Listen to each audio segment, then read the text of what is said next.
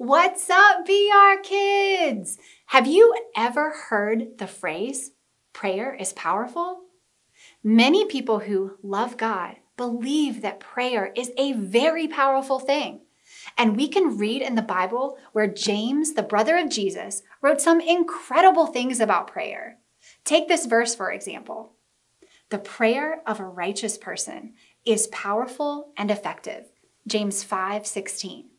There is power in the prayers of those who have made Jesus the leader of their lives. And it's effective, which means it works. That's great. Uh, wait, uh, what's this? My phone is buzzing. Hello? Hmm. Mm hmm. You are so right. Yep, sure will. Okay, all right. Bye. well, what I've learned from that totally fake phone call is that I have not even explained what prayer is yet. Silly me. Prayer is communication with God. Kind of like how talking on the phone with someone is one way we can communicate with others. Prayer is talking to God and listening for God to speak to us. And good news, we can actually learn a lot about prayer from Jesus and the Bible. Take a look. Sometimes Jesus would pray with others, like when he asked Peter, James, and John to come with him to a mountain to pray. Other times, Jesus would leave his disciples and pray by himself so he would have time alone with his Father. When Jesus prayed, he prayed for all sorts of things. He prayed for his disciples, for those in need of healing, and for little children. Jesus even prayed for us and asked his Father to watch over us. That's right, Jesus prayed for you and for me. Through Jesus' prayers, we can learn how to pray too. Jesus used the Lord's Prayer to teach his disciples to pray. It wasn't long and fancy. He showed them that they could pray in a simple way about many different things. Our prayers can be the same way. Jesus also taught us that we should pray without giving up. God is always listening to what we say.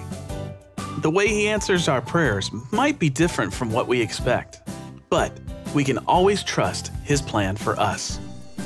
So the next time you're happy or sad, or worried or angry, or just need help, talk to God about it.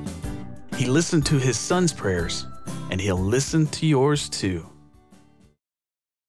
So, prayer is powerful and prayer is important. Throughout this series, we are going to take a look at several powerful prayer moments to see what God wants to teach us about prayer. Today, we begin with a woman named Hannah. The Bible tells us that Hannah didn't have any children because the Lord hadn't given her any.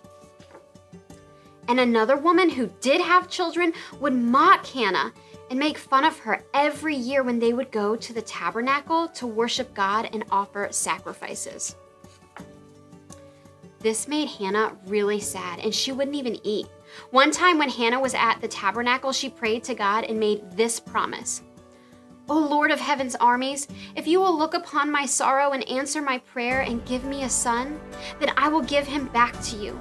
He will be yours for his entire lifetime. Now, Eli, a priest, watched Hannah as she prayed, but he was confused because he saw her lips moving but heard no sounds. So he thought Hannah was drunk.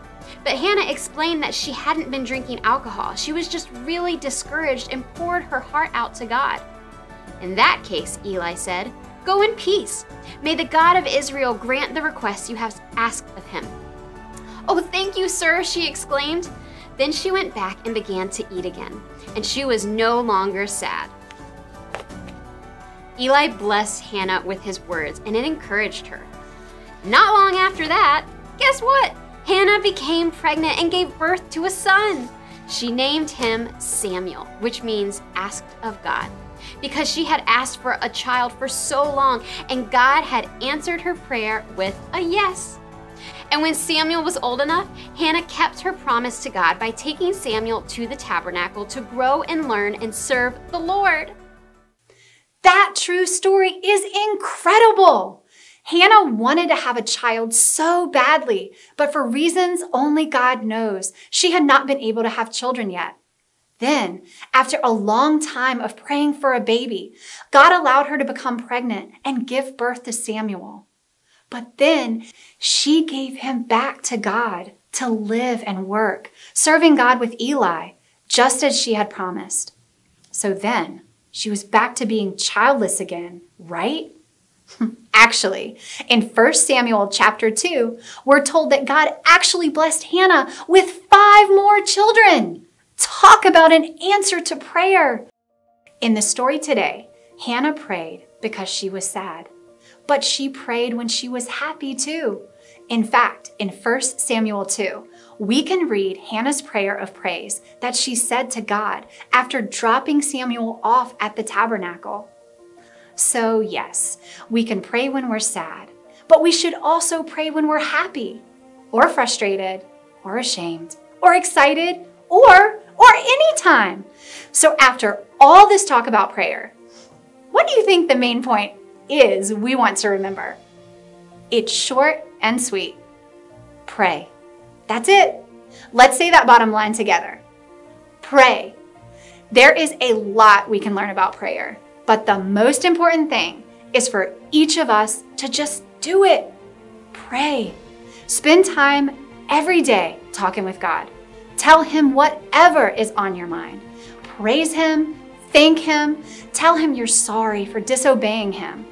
Ask for forgiveness. And of course, you can ask God for anything. That doesn't mean you will get everything you ask for. And if his answer is yes, it may not be immediately when we ask for it. Sometimes we will have to wait, but that's okay because God's timing is best because God knows what's best for us, He may answer some prayers with a no. We might not like that answer, but we can learn to trust that His plan is the best plan. But no matter what, don't forget to pray. Pray every day. Pray for one another. Pray trusting in God's plan. Pray about anything and everything. Pray, pray, pray. Remember, Prayer is simply talking to God and also listening to what He may be trying to say to you. So help me say that super easy bottom line again. Pray. See you later.